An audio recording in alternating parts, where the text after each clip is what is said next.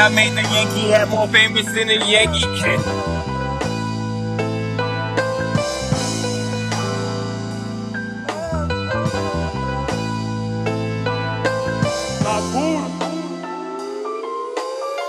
That made the Yankee hat more famous than the Yankee kid.